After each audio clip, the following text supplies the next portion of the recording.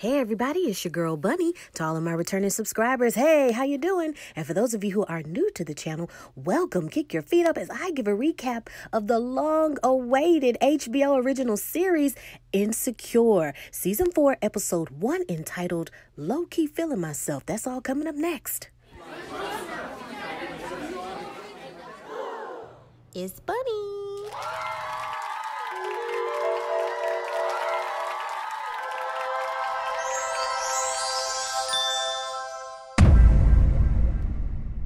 We see items from an upcoming event, concert, t shirts, pamphlets, brochures, all of these things for an upcoming event. And we see Issa on the couch and she says to someone on the phone, Honestly, I don't F with Molly anymore.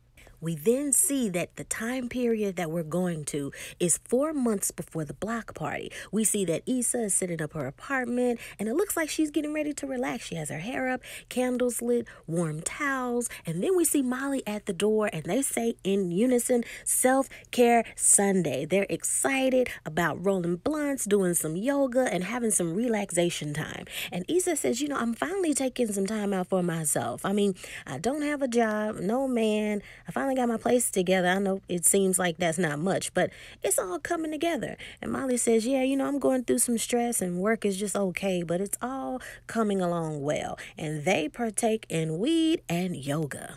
We then see that Issa meets up with Condola because they need to have a follow up meeting concerning the mixer. They're confirming if they have drinks, check, food, check, information on the pamphlets, notes that they need to have, potential sponsors, and etc. And Issa is saying, We got this, it's all under control, we're just all getting it together, and they're excited.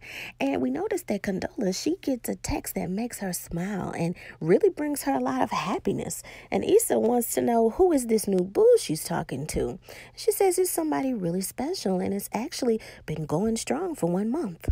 We see Molly and Andrew, they're still hanging out and they're having a nice, fun night of bowling. They are trash talking, flirting, looking at each other in the eyes, and hugging one another, and sparks are definitely flying. And Andrew seems like he's having fun, and so is Molly.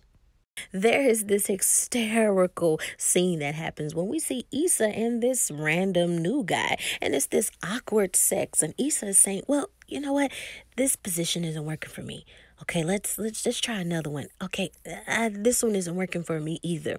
And the guy says, "Man, you know, I'm really trying hard to please you, but I'm turning you around and flipping you around like you're a Rubik's cube, girl." They figure out that the position that works for them is traditional home missionary, and they finally get what they need at the end of the night. He's making jokes with her, saying, You know, it takes a while for a nice thickums like me to get you where you need to be, but that missionary was popping. They share a nice little laugh, and he says, You know what? You really need to fix the AC. And you being the property manager, that's really, really important. And that's major foreshadowing for the future. And she says, Well, you know, it's only 65 degrees outside. And he's like, Well, you really, really need to get that fixed because it can get hot. He gives her some Hennessy and says, Hey, this is on behalf of TSA and tells her to have a good night. Molly and Issa, they meet up at a nice little retail store and we start to see that Issa is exchanging and bringing back items back and forth because she's trying to keep up with Condola's image. She doesn't want to seem like she can't afford to get some nice clothes, and Molly takes note of that. And then we notice that Molly's comments seem a little condescending. And Issa explains some information about her sponsors and how they may not match the reputation of Condola, but she's really, really trying. And Molly says, Well, wow, you're actually getting some real sponsors. Huh. And we can see that Issa's pretty insulted, but she doesn't say anything. And Molly keeps saying that, oh, this might be your first event and, you know, you might pull some stuff together, but you have a lot of things to bring to the table. So, really, just these upper cup comments that are kind of below the belt. She tells Issa that, hey, Andrew, you know, he wanted me to ask you that is it okay for him to invite, you know, Nathan to this event? And Issa says, well, no, that wouldn't be a good idea. You know, don't invite him, but thanks for letting me know. The store clerk tells her, hey, you can't keep doing this, but Issa lets her know under her breath, you can't tell me what to do. Issa meets Condola at her job, and they're talking about all of these business endeavors that are going to happen. They're connecting on a business level, they're sharing some laughs, and they look like they're really connecting as friends. And then we see Tiffany. She enters the meeting room and she says, Wow, I can't believe that you two are really getting it together and getting some good ideas going. And she can't help but to notice some nice flowers that are on her desk. And Condola says, Yeah, you know, you not only brought Issa and I together, but you connected me with somebody special. And Issa is just wondering who is this special guy. And she informs her that she met that guy at Tiffany's baby shower. And Issa starts to say, Well, there weren't that many guys there, so who are you talking to? And Condola says, Well, you know, it's this guy named Lawrence. And then there's this awkward silence in the room. And you could tell that Issa is in shock. And Condola says, Well, do you guys know each other? And then there's more awkward silence. And Tiffany says, Look, they're exes, okay? They were together, now they're not. So that's it. You can tell that Condola is kind of bothered and uncomfortable about it, but Issa laughs it off as if she's not hurt and says, "Oh, you know, you know, it's it's a small town and you know, why don't you tell me the exes that you that, that you had so I can start dating them? He he he. So this this awkward, very awkward energy that's in the room. After she learns such a thing, Issa leaves the building and she starts to have all of these hysterical imaginings of Condola and Lawrence having sex. And it is hilarious because that's what she's thinking about. Condola meets Lawrence for some nice chill time and she doesn't look like she's in the mood. And Lawrence asks her, Hey, you know, is everything okay? And she tells him, Look, I think my friend, I think I'm working with your ex. And she tells him the news and she's like, I'm helping her and I'm friends with her, but I, I just want to know and I kind of feel uncomfortable. And she wants to know how long they were together. And he tells her they were together for five years. And she thinks that's pretty significant and wants to know that should she continue on working with her. And Lawrence says, Yeah, you should keep working with her. You know, we ended, we're not together anymore. And of course, you know, she needs you now, and you guys have come so far on this project. So it lets us know that Condola isn't a jerk. She really considers other people's feelings and is not thinking about herself. So, so far, I like this new character. It's the day of the block party preceding in order to convince sponsors to donate to the official block party. And Issa's brother is helping her put together everything, and he's also offered to DJ. And another comical moment, we see another resident that shouts down to Issa, like, hey, girl, you know, your brother is fine. Is he single? And Issa says, Yeah, he's single, but he's gay. And she's like, Girl, that's all right. You know, my son's father is gay. She just blows that over her shoulder like it doesn't even matter. We then see Condola. She arrives, and there's this awkward hug of, Hey, uh, girl. And they seem to kind of brush it under the rug and want to keep things pushing. And she tells Issa, Looks like everything's, you know, coming along, and I'll just go over here to help. Andrew and Molly, they're headed to the party. And we notice more comments that raise our eyebrows from Molly. And she says, Hey, you know, we're going to this party. You know, it's my home girl trying to put stuff together. So, you know, she's trying. You know what I mean? Kind of this energy of don't expect much from this event that we're supposed to go to. And Andrew says jokingly, so basically, I could have saved this outfit. And another condescending comment, Molly says, please, Urban Outfitters. So she's kind of downplaying the clothes that he wears. And he brushes that off and says, hey, you know, I wanted to know when we could reconnect next week. I mean, I'm busy next Friday, but any other day is cool. And Molly says, well, what do you have going on? you like have a date or something like that? And he says, well, yeah, I'm, I'm dating other people, aren't you? She says, Well, yeah, I mean, of course I'm dating other people. And he says, Oh, okay. And you seem surprised. And she's like, No, you know, you got dates. You got dates on dates on dates. So it's this awkward energy in the car. And once again, her personality, instead of being honest and letting people know what's on her mind, she has these mean, condescending, insulting comments that she's saying to people.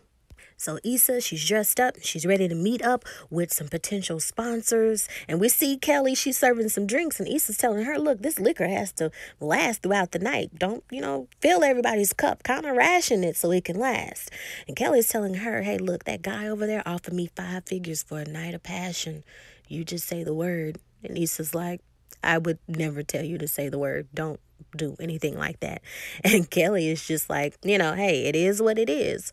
So Issa, she tries to be discreet and says, you know, what if you like knew somebody, like you had a female friend and y'all were really, really cool, but you found out that she's talking to your ex. What what would you what would you do? And Kelly said, Well, I had that situation happen to me. But, you know, she's in jail because, you know, I framed her because I don't play that. We see that they have Cheryl from Diageo. She is a vendor. And Issa and Condola, they want to speak to her to try to get her bid.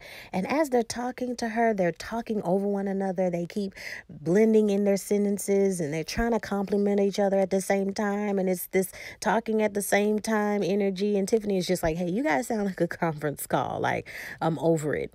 And Issa tries to explain what the event is about, and she really can't put it into words well. And Condola notices that and tries to save the day and says, you know what, maybe we should split up. I'll take the sponsors on this side and you take the sponsors on this side. Let's talk to all of the sponsors separately. And Issa realizes how unprepared she is and how maybe on the business tip she's not as experienced as Condola. Molly and Andrew see Mr. TSA at the front door, and he's telling them how lit the party is and that he needs to pat them down to get in. And he's like, oh, wait, I went into TSA mode. It's okay. Just walk in right there and have fun. It's going to be fun.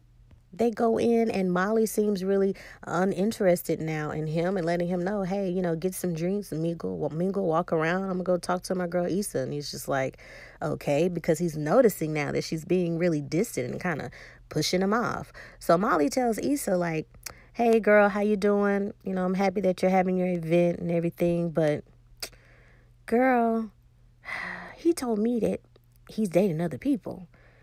And Issa says, "Well, okay." And she really doesn't seem like she's bothered by that. Like you guys are having fun, you're dating, and why wouldn't he date? And Molly seems kind of Uh, surprised that she's not on her side about this. And Molly is just like, well, okay. In the midst of them talking, all of a sudden, we hear a very vulgar song, My Neck and My Back from Khia, but it's being played around this very upscale crowd, and it makes people feel really uncomfortable. And she's telling her brother, You got to turn this song off. And if you're going to play something like that, it, le- it at least needs to be edited. And unfortunately, we see a lot of the sponsors and visitors start to leave. And Issa takes this moment to gather her thoughts before she panics. She puts her notes down because she wants to read notes. And then you could tell she has this epiphany that she just wants to talk to the potential sponsors from her heart. And she says, You know, this event, this block party that I'm trying to do, is not only putting a spotlight on black businesses, but bringing it to an area where most audience can't see what's going on. We want to make them more aware. We want them to see themselves. So she's really explaining how important this event is.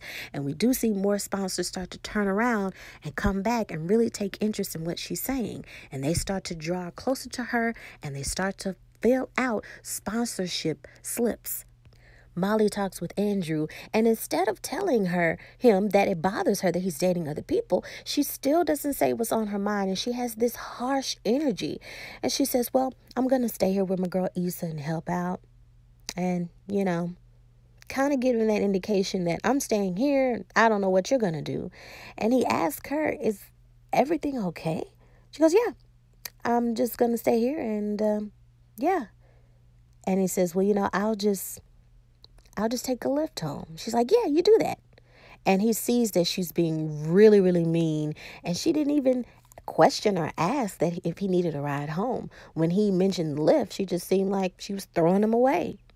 After the crowd goes away and it's getting late, we do see Kelly and Tiff tell Issa how proud they are and how everything turned out and that her speech was beautiful and that she didn't need the notes. All that she needed to do was just say what was on her mind and on her heart.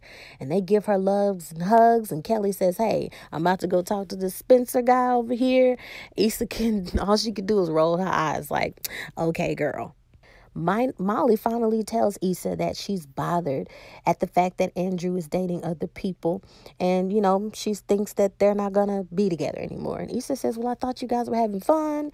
I mean, I don't see why. Maybe you should talk to him. And Molly is just not taking that for an answer. And she still seems pretty pissed. And Molly says, You know, I found out that this Condola girl I mean, she's dating Lawrence, and how come you didn't tell me? And Issa tries to tell her, girl, I tried to call you several times to let you know about the situation, but I had so much I had to do. And Molly says, oh, that's just interesting. You know, you know, you can be pretty messy, right? And Issa is shocked that she's just sounding so mean and says, wow, I, okay. She says, Yeah, I guess y'all just supposed to be friends now and everything's supposed to be cool. And she's like, Well, you know, the girl showed up to the event. She was respectable and she helped me. So, I mean, I guess all I have to do is really get over it. I mean, they're hanging out. I mean, what can I do? Molly takes this tone like she's just really upset that she can get over Lawrence and it's not such a big deal. As Issa goes away to start putting stuff up off the tables, Molly, Molly finally texts Andrew to tell him how she feels and to let him know, hey, I was tripping. And the reason why I was acting that way is because I really like you and I'm sorry. And we do see that Andrew is typing something to her back, but we don't see what that is yet. We then see Condola and Lawrence. They finally get to the level where they're intimate. Issa thanks her in a text telling her that thanks for all of the help. And as Issa is cleaning up, we do start to see the tension and energy between Issa and Molly. And that is the end of the episode.